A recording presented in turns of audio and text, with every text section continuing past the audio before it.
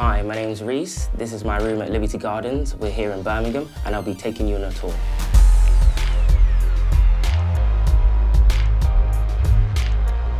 This is my bedroom. I like to call it my personal chill zone because it's where I like to come and relax.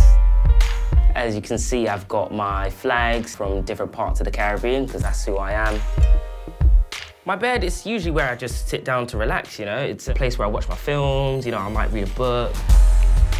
Loads of room at my desk. I can do everything simultaneously. I can relax, watch a show, do an assignment, make notes. I've got enough room really to do anything I need. There's plenty of storage. You get three drawers, you've got a wardrobe, and the bookshelf, I can fit about 50 or 60 books on there, so more than enough.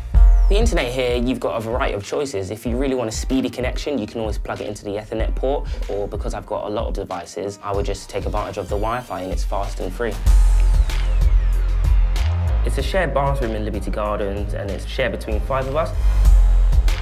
Right now we're in the kitchen. This is where I usually come to, you know, cook my food, but a lot of the time I just come here to socialise.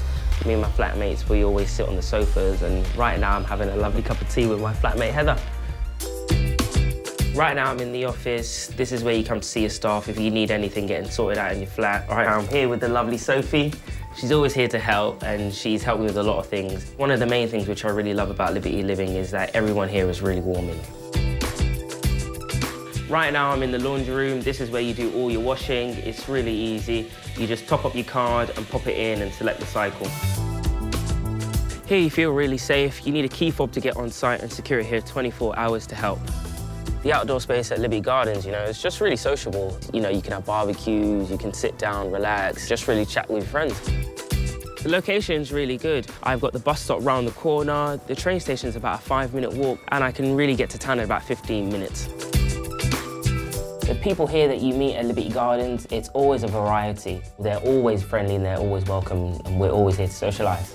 I would always recommend Liberty Gardens to anyone. It holds a lot of memories and you're always going to have a good time. Liberty Gardens is the place you want to be.